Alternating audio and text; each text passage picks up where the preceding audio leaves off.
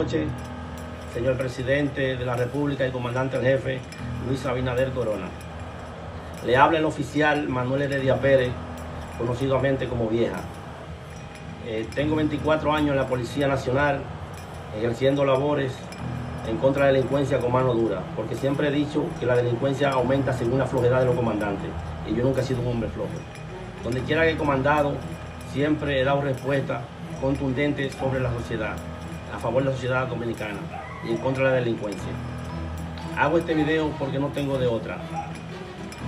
He ido más de 20 veces al Palacio de la Policía para pedir ayuda, ya que después que yo rompí la bandera haitiana, cuando estaban comandando Oviedo, donde 15 nacionales haitianos fueron apresados, indocumentados, al encerrarlo uno de ellos levantó una bandera queriendo subir la de ellos, a la de nosotros, yo no se lo permití porque yo soy un patriota y mientras yo tenga esa bandera en mi hombro, me llama a defenderla hasta con mi propia vida.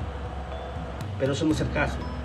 El caso es, después que yo rompí esa bandera, eh, la policía me ha maltratado de una forma inadecuada, que creo que no me lo merezco como oficial de la Policía Nacional. En primer lugar, el inspector de Barahona, cuando me investigó, me dijo que si fue mi hijo que me mataron. Yo no le contenté en ese momento, pero lo voy a contestar ahora. No fue mi hijo, no fue la familia entera cuando llevé esa bandera arriba. ¿Ya me entiende? Porque la bandera dominicana está por encima de toda bandera. Sobre, sobre esa bandera ninguna otra. Señor presidente, yo me quedé tranquilo porque el jefe de la policía, Alberto Ten, me dijo que me iba a dar mi pensión. La solicité por la vía decentemente. Me dijeron cuánto me iba y todo pero agarró y no me dio la pensión. Me sancionaron como falta grave de tres meses por haber rompido la bandera.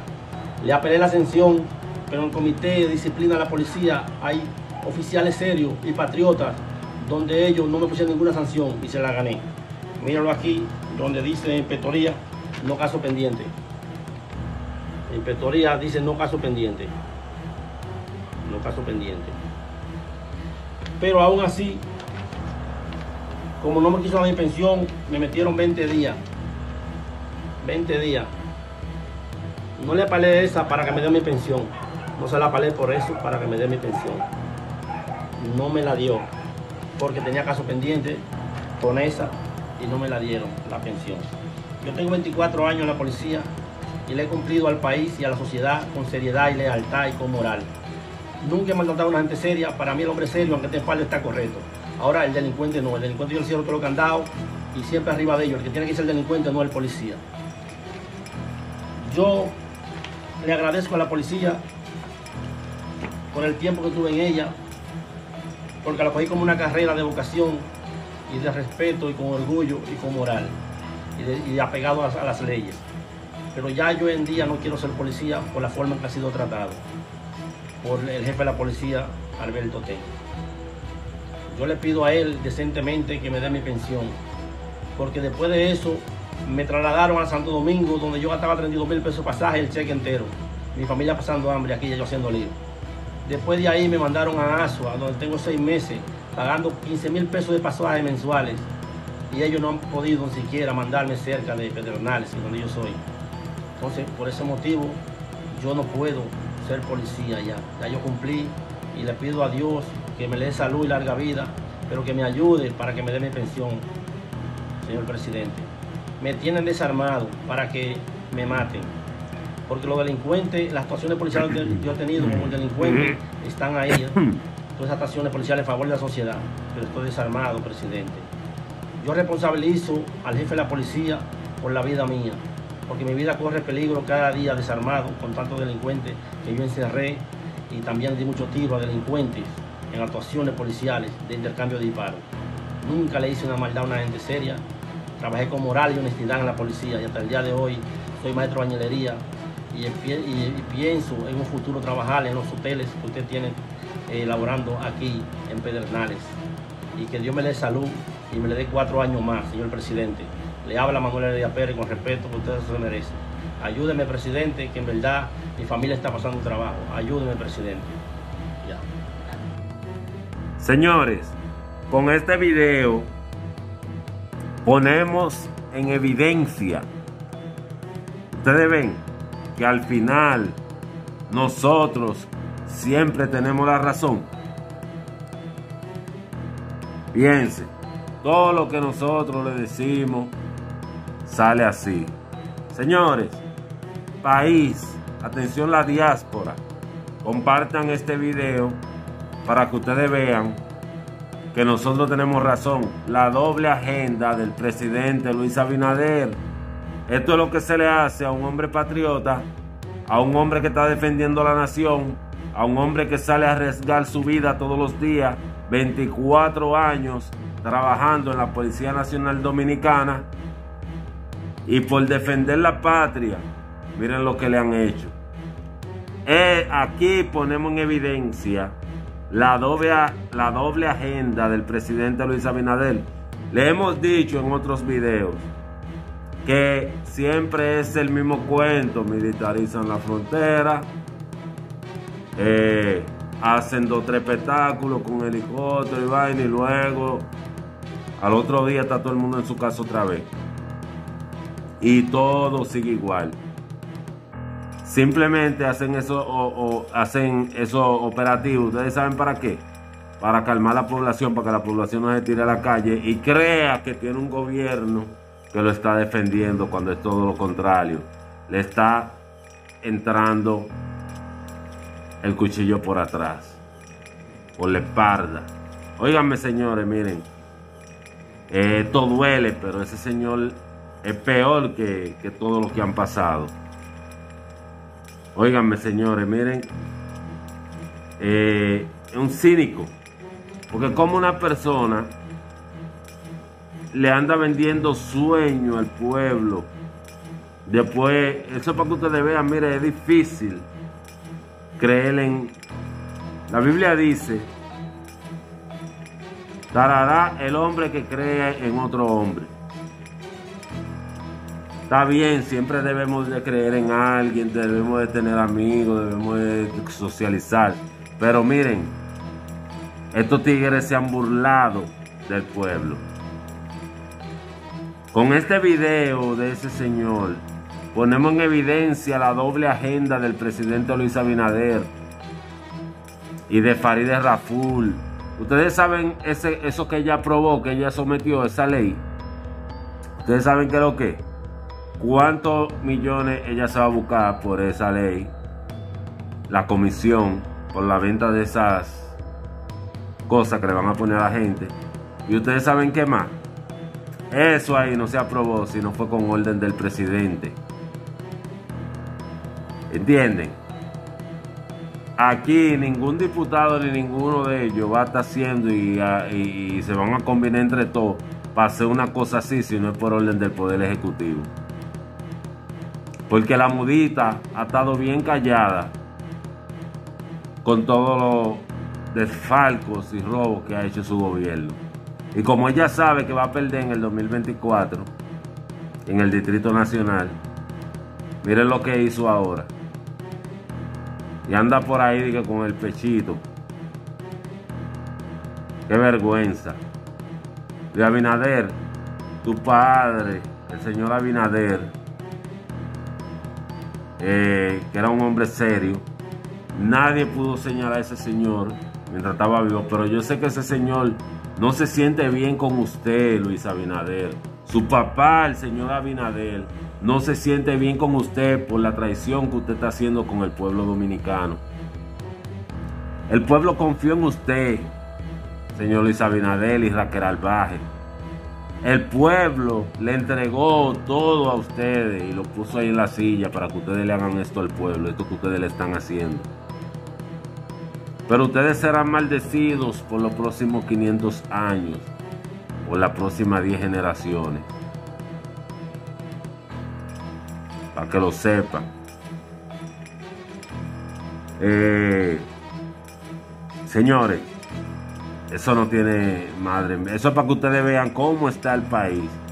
Porque en la prensa, en, los medios que son de que los medios televisivos, los medios radiales oficiales, usted no puede creer nada de lo que presentan en esos medios. El 90% de las noticias que presentan en los medios supuestos oficiales, ustedes saben lo que es. Es buche, mentira. Es fake news. Aquí la verdad, para usted encontrar la verdad, usted tiene que escudriñar y salir a buscar y pensar, analizar y pregúntese el porqué de las cosas. Investigue. No se lleve de lo que andan diciendo toda esta bocina. Porque mire lo que está pasando el pueblo, mire lo que le está pasando a ese señor. Y cuántos como él más han caído, que le han hecho lo mismo por defender la patria. ¿Eh? ¿Qué él dijo? Vino un tigre y me alzó eso. Y se lo quité. ¿Qué te van a hacer si tú caes preso de aquel lado? Y tú le haces eso a la policía de aquel lado. ¿Qué tú crees que te va a pasar a ti? ¿Eh? Cuando viene a ver y te vuelven a ver más nunca. No, señores, eso no tiene madre. Entonces, señores, eh, aquí tenemos eh, a las instituciones atadas de las manos. Por eso es que no se... Eh, la, la Policía Nacional debe de ser un órgano independiente del Estado, al igual que los jueces, al igual que los fiscales. ¿Ustedes saben por qué? Porque así, y la ley de, las leyes deben de respetarse y de aplicarse, y de aplicársele a todo el mundo, sin distinción de personas para que este país pueda funcionar y avanzar. El país creyó en la justicia. El pueblo le entregó toda su fe a la justicia. ¿Y qué ha hecho la justicia? ¿Qué ha hecho este gobierno a favor del pueblo?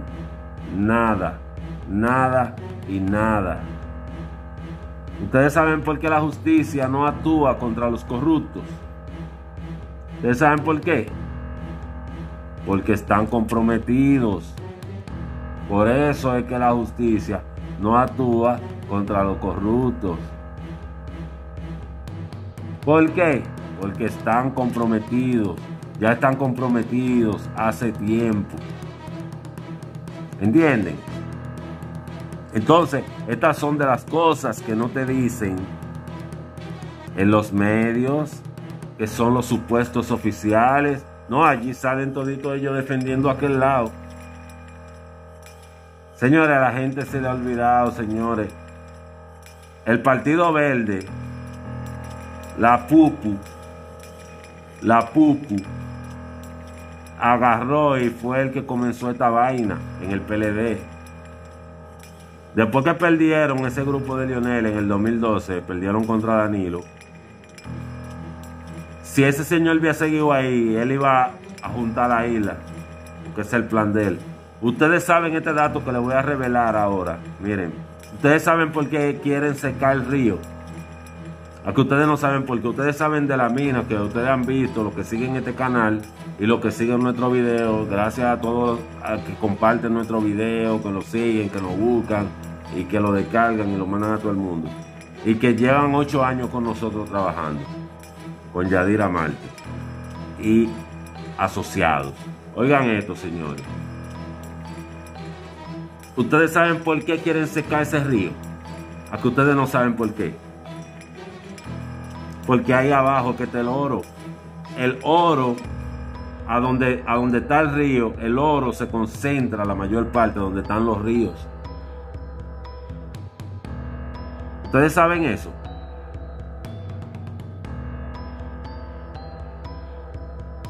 El oro se concentra donde están los ríos, por si usted no lo sabía. Y la mina que está entre República Dominicana y Haití, que es casi un tercio de la isla, oro de la mejor calidad del mundo, nada más aquí en China y de ese oro. Ustedes saben que, señores, ese oro está ahí abajo de ese río. Y eso no es coincidencia, eso no es que, que tienen seis, eso no es nada de eso. Miren, aquí a la gente no se le puede olvidar el nombre de Altagracia Salazar. Al pueblo no se le puede olvidar el nombre de Uchilora. Al pueblo no se le puede olvidar el nombre de Luis Abinader. Al pueblo no se le puede olvidar el nombre de Leonel. Al pueblo no se le puede olvidar el nombre de Danilo Medina. Al pueblo no se le puede olvidar el nombre de la, de la esa que anda por ahí de reconocido. Que anda ahí con el, con el, haciendo actividades. Entonces, aquí adentro del país, ¿qué tú crees que le va a pasar a un dominicano que se ponga a hacer eso de aquel lado de la isla?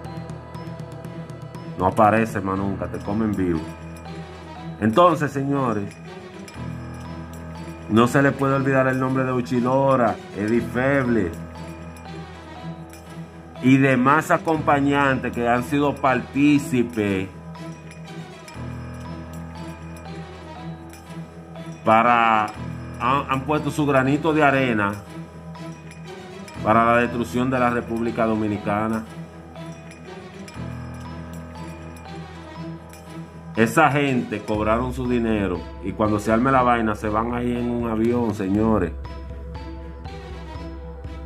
Se van en un avión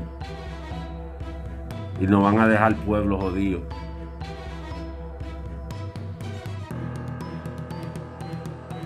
Lo que fue cómplice Leonel, Danilo y Abinader.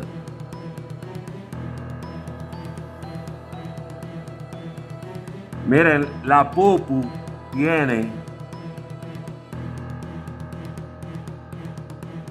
el 50% de los candidatos de ellos son de aquel lado.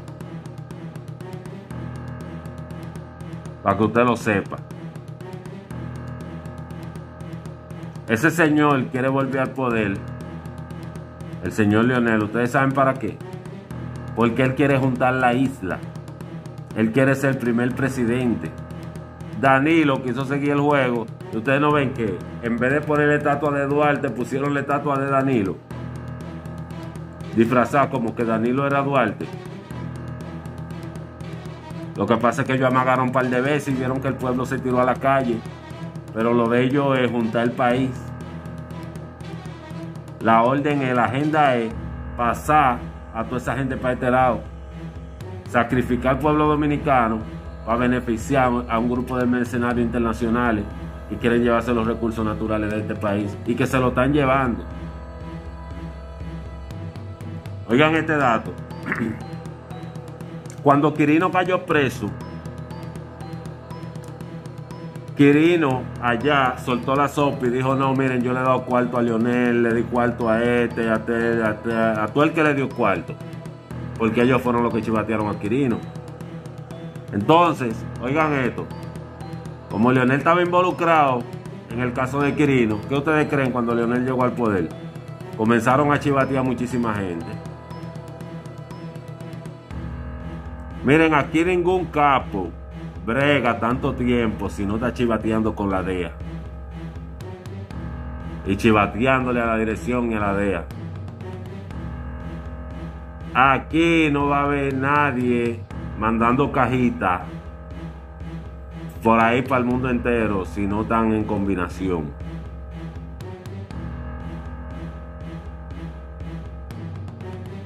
Eso no funciona si no es con la ayuda de las autoridades. Eso no pasa de un país a otro si no es con la complicidad de las autoridades nacionales e internacionales. Porque la DEA trabaja de una manera que a ellos no les interesa agarrarte a, todo el mundo porque después ellos no saben. Eh, para ellos ubicar quiénes son los otros, ellos tienen que tener a uno adentro. Y aquí hay muchísimos capos que usted lo ve que tienen de que 20 años de que mandando. Mandando cajitas. Pero es chivateando a dos manos que están. Chivateando y chivateándose uno con otro. Y cuando lo agarran preso, que se lo llevan para aquel lado, negocian. A chivatear se ha dicho. Entonces tú lo ves de que aquí, de que, que andan de que asustados, de que, de que, cuidado, de que, que eh, cuidado. Chivato el diablo. Entonces, para descojonar a Danilo, chivatearon a César el abusador. Y lo implicaron. Lo implicaron con el gobierno de Danilo.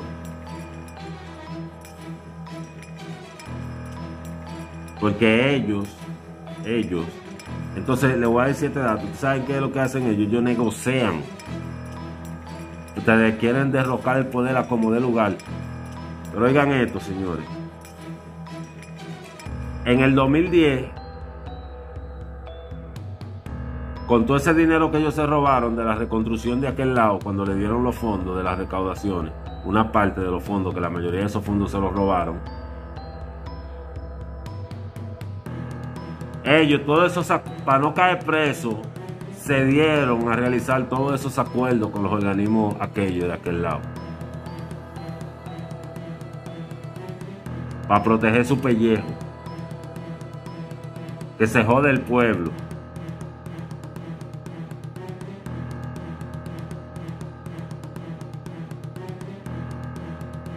Pero algún día tiene que ser gloria para el pueblo dominicano algún día tiene que ser gloria. Señores, eh, vamos a dejar este comentario hasta aquí. Si a usted le gustó, compártalo, dele like, eh, suscríbase a nuestro canal de YouTube, a nuestra página de Facebook, a nuestra página de Instagram, en TikTok y en Telegram. Somos Dios, Patria, Libertad, RD News, la voz del pueblo.